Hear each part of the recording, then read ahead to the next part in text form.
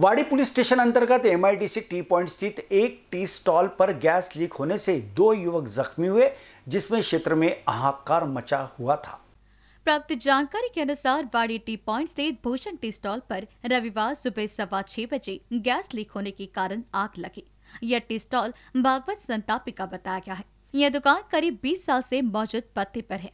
भागवत कुछ दिनों से बीमार चल रहा था तो कुछ दिनों से दुकान भागवत का लड़का चलाता था। हमेशा की तरह शनिवार रात को लड़के ने दुकान बंद कर घर चला गया।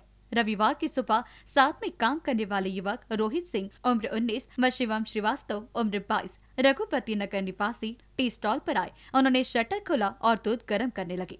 जैसे ही माचिस जलाया, वैसे ही बड़ी आवाज़ हुई और सुबह सवा छह को जलता हुआ एक युवक शटर से बाहर निकला।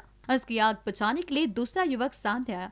युवकों ने कपड़े निकाले। घटना होते ही परिसर पे हड़कंप मच गया था। घटना की जानकारी पुलिस तथा वाड़ी अग्निशमन को दी गई। अग्निशमन मौके पर पहुँची, आग को काबू किया। तो दुकान में से पाँच सिलेंडर अड़तीस के जी के और लीक हुआ सिलेंडर 14 किलो का बाहर निकाला गया। लेकिन इंडस्ट्रियल पाँच भरे हुए सिलेंडर 38 किलो के दुकान में क्यों रखे थे? यह सवाल उठा है। यदि इंडस्ट्रियल सिलेंडर में आग लगती थी तो बड़ा अनर्थ हो जाता था। मौके पर एपीआर दानेश्वर ठौड़ी दिनेश सोनवरी, पंकज मड़ावी, शंकर पेंदुर, दीपक जादव व पेट मार्शल पहुँचे। घटना का पंचनामा किया गया। जख्मी को उपचार के लिए अस्पताल भेजा गया। आगे की जाँच वाड़ी पुलिस करी है। वाड़ी अग्निशमन की ओर से मौके पर अधिकारी गौरव गानार, चालक इंद्रजीत इटपाती अनुराग पाटिल, वैभव कोसरकर युगान बिड़कर, आनंद शेंटे पहुँचे थे।